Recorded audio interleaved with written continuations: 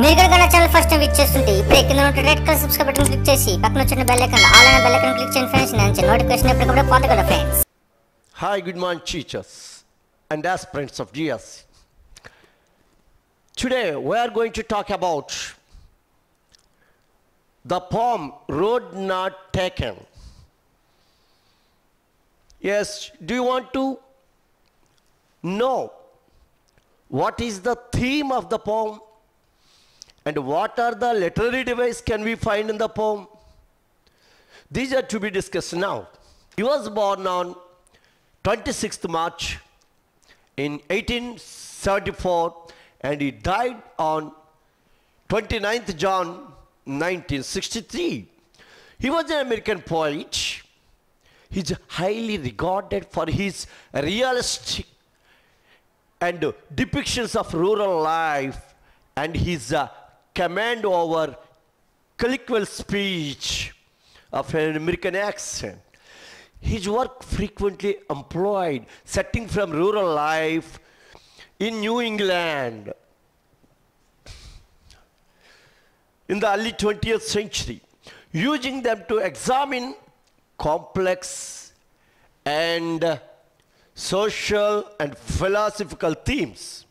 One of the most popular and critically respected American poetess of his generation, Frost was honored frequently during his lifetime, receiving four Pulitzer Prizes for his poetry. This is about the poet. Let's move to about the poem.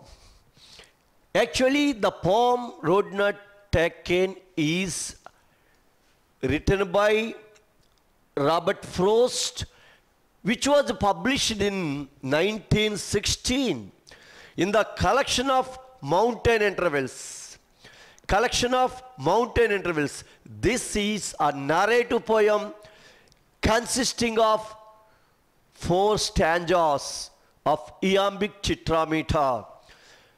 After analysis of the poem, we can go for what is iambic tetrameter, how its meter, we can discuss later. Actually, uh, already we have discussed iambic is a, a unstressed syllable is followed by stressed syllable. So, tetra means uh, four syllabic feet. Actually, eight twos are, uh, four twos are eight uh, syllables will be there, but for effective purpose, uses nine syllabic, mean nine syllables in each line. Okay, this being among the best known is also one of the most often misunderstood poems. It has been commonly studied in a school literature classes and can often relate to the reader's life in making difficult decisions. This is about introduction of the poem. Now let's move to the poem. Okay, let us discuss literary devices or poetic devices. Two roads diverged in yellow wood. Here the word wood. This is monosyllabic word. It is called masculine rhyming word. We call it a. Both. It is not a rhyme to wood. That's why we put B. Then stood. Wood stood. Again A. Could.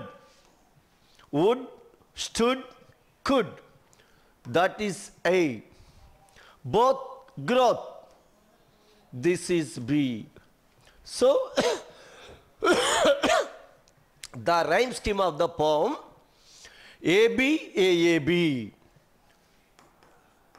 Rhyme scheme of the poem is AB AAB. Okay. Next. Already in the beginning we discussed it is an iambic tetrameter even though one syllable is added to the as a ninth syllable uh, for a particular purpose of poetry. Here, chew, this is unstressed syllable. Roach, this is stressed syllable. Diverge, diverge, this is unstressed and stress. In, unstressed, a, stress. That's why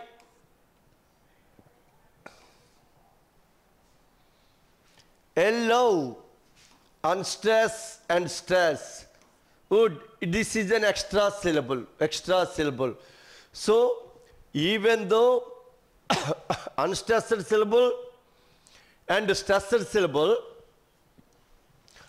we call it we call it iambic. ఒక unstressed syllable ఒక stressed syllable ఒక unstressed ఒక stressed ఇలా మనకి ఏంటంటే iambic టెట్రామీటర్ ఇక్కడ ఉంటుంది. కానీ ఒక సిలబుల్ యాక్చువల్గా అయాంబిక్ అన్నప్పుడు ఒక అన్స్ట్రెస్ ఒక స్ట్రెస్ ఇలా మనకి ఫాలో అవుతుంటాయి కదా. ఎనిమిది సిలబుల్స్ ఉండాలి. కానీ ఇక్కడ హైటనింగ్ ఎఫెక్ట్ కోసం పోయిట్ ఏం చేశారంటే ఎగ్జాక్ట్గా ఎయిట్ సిలబుల్స్ కాకుండా నైన్ సిలబుల్స్ యూజ్ చేయడం ఈ ఈ పోయం యొక్క ప్రత్యేకత. కాబట్టి ఇది రైమ్ స్కీమ్ అండి. ఇది వచ్చేసి ఆ మీటర్ అండి. నెక్స్ట్ ఇందులో పొయిటిక్ డివైసెస్ చూస్తే ఫస్ట్ మనకి డైవ్ రోజ్ డైవర్జ్ డి అనే సౌండ్ రెండు చోట్ల ఇక్కడ చూడండి రోడ్స్ డైవర్జ్ సో ఈ బిగినింగ్లో ఏమి రాలేదు దీన్నే మనం కాన్సోనెన్స్ అంటామండి. కాన్సోనెన్స్. అంటే D letter D is a consonant letter it is repeated in the consequent words but it should not be in the beginning అంటే రెండిట్లో బిగినింగ్లో రాకూడదు. బిగినింగ్ వస్తే ఎలిట్రేషన్ అయిపోతుంది. అందుకే ఇది కాన్సోనెంట్స్ అండి. చూడండి ఇక్కడ. ఇంకా and sorry I could not travel both ఇక్కడ మనకు సింబాలిక్గా టూ రోడ్స్ అంటే different choices of life so this is a symbolic meaning two roads indicates different choices of life అని అర్థం అనమాట ఇంకా ఏం చెప్పాడంటే చూడండి ఇక్కడ. Look down as far as I could where a bent in the undergrowth here undergrowth bent in the undergrowth అంటే కొంతవరకే మనం రోడ్డుని చూడగలమన్నాడు. ఇక్కడ undergrowth represents future life so that's a symbolical undergrowth refers to future life కాబట్టి ఇవి సింబాలిక్గా చూడండి two roads అనేది టూ లై జీవితంలో డిఫరెంట్ చాయిసెస్ చెప్తుంది అండర్ గ్రోత్ అనేది ఫ్యూచర్ ఏం జరుగుతుందో మనకు తెలియదని సింబాలిక్గా చెప్తుంది సో సింబాలిజం అనేది ఇక్కడ మనకి కనపడుతుంది ఎల్లో వుడ్ ఎల్లో వుడ్ అనేది మనకి ఈ సింబాలిక్గా మెచ్యూరిటీ ఏజ్ అని అర్థం వస్తుంది అనమాట ఎల్లో వుడ్ అంటే రైపన్ ఏజ్ అనమాట మెచ్యూరిటీ ఏజ్ సో ఈ మూడు సింబాలిజమ్స్ ఉన్నాయండి ఈ పోయంలో two roads life choices yellow wood matured age undergrowth what will happen in future is not known okay next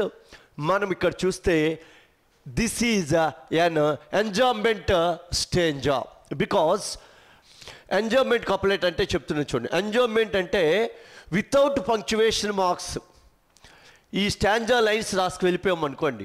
Enjambment is nothing but cohesive message go through line to line without any punctuation marks అంటే punctuation marks ఏవీ లేకుండా ఒక line తర్వాత మరొక line ఒక line తర్వాత మరొక line రాసినట్లయితే దాన్ని మనం ఎంజాయ్మెంట్ అంటాం. కాబట్టి ఇక్కడ ఎంజాయ్మెంట్ అనేది కనపడుతుందండి. Next another figure of speech is anaphora and and and same conjunction వరుస లైన్లో రిపీట్ అయితే దాన్ని ఎనాపరా అంటారు. సో ఎండ్ అనే కంజక్షన్ రిపీట్ అయింది కాబట్టి ఏఎన్ఏ పిహెచ్ఓఆర్ఏ ఎనాపరా. సో ఈ పోయంలో లిటరీ డివైస్ ఏంటంటే ఒకసారి చూడండి. ఇంకా రోడ్స్ రోడ్స్లో ఓ ఎల్లోలో O O is repeated so this is assonance same vowel repeat అయితే ఎస్సోనెన్స్ అంటారు. అంటే ఇప్పుడు చూడండి ఇందులో లిటరీ డివైసెస్ ఎస్సోనెన్స్ ఉంది first assonance O is repeated assonance so what is assonance repeated of same vowel sound in one more word words so ఇక్కడ చూసినట్లయితే ఓ అనే వర్డు రోడ్లో ఉంది ఎల్లోలో ఉంది. కాబట్టి రెండు సేమ్ సౌండ్ రిపీట్ అయింది కాబట్టి అది సోనెన్స్ ఇంకా రెండోది కాన్సోనెంట్ కాన్సో డి అనే సౌండ్ మనకి ఫస్ట్ లైన్లో రిపీట్ అయింది కాబట్టి. అది కాన్సోనెంట్ అంటే సేమ్ కాన్సోనెంట్ రిపీట్ అయింది కాబట్టి అది కాన్సోనెంట్. తర్వాత ఎలాంటి పంక్చువేషన్ మార్క్స్ లేకుండా సెకండ్ థర్డ్ ఫోర్త్ లైన్స్ ఉన్నాయి కాబట్టి ఎంజాయ్మెంట్ తర్వాత ఎండ్ అనే కంజక్షను రిపీట్ అయింది కాబట్టి ఎనాపొర అలాగే ఇక్కడ సింబాలిక్గా టూ రోడ్స్ అంటే చాయిసెస్ లైఫ్ అని ఎల్లో వుడ్ అంటే మెచ్యూర్ డేస్ అని అండర్ గ్రోత్ అంటే ఫ్యూచర్ అని మనకి ఇక్కడ సింబాలిక్గా చెప్పబడిందండి. ఇంకా ఇందులో మెటాఫర్స్ కూడా ఉన్నాయండి metaphors so two roads are compared with the choices of life కాబట్టి ఒక మెటాఫర్ కూడా ఉంది undergrowth it indicates future life so ఈ రెండింటి టూ రోడ్స్ అండర్ గ్రోత్ని మెటాఫర్లో కూడా చెప్పొచ్చండి. ఎందుకంటే టూ రోడ్స్ని లైఫ్ చాయిస్తో కంపేర్ చేస్తాము. ఇక్కడికి వచ్చేసరికి అండర్ గ్రోత్ ఏమో ఫ్యూచర్తో కంపేర్ చేస్తాము. కాబట్టి ఇక్కడ మెటాఫర్స్ కూడా ఉన్నాయి. This is about the stand one hi friends మీరు ఇక్కడ నా ఛానల్ ఫస్ట్ టైం విచ్ చేస్తుంటే ఇప్పుడు కింద ఉంటుంది red colour subscribe button click చేయండి. పక్కన వచ్చే బెల్ ఐకన్ క్లిక్ చేస్తే నేను అందించే లేటెస్ట్ అప్డేట్ మీరు ఎప్పటికప్పుడు నోటిఫికేషన్ అయితే పొందగలరు ఫ్రెండ్స్ అలాగే నా యాప్ని కూడా డౌన్లోడ్ చేయండి. Friends thank you